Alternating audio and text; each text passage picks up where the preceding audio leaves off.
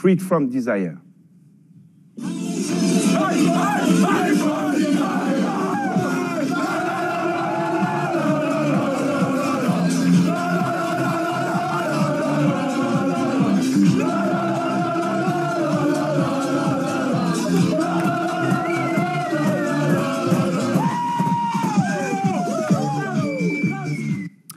Quelle soirée Et on a envie de vous dire au nom de tous les Français, bravo et merci Cameron. Est-ce que vous réalisez ce que vous avez fait hier?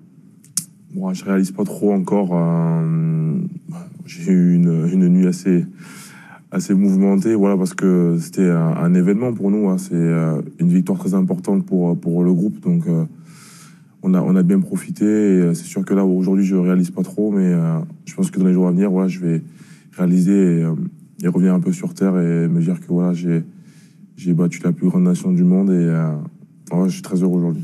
Et il paraît que vous êtes aussi bon en troisième mi-temps que lors des deux premières. On y reviendra tout à l'heure. On va vous préparer des choses, les coulisses de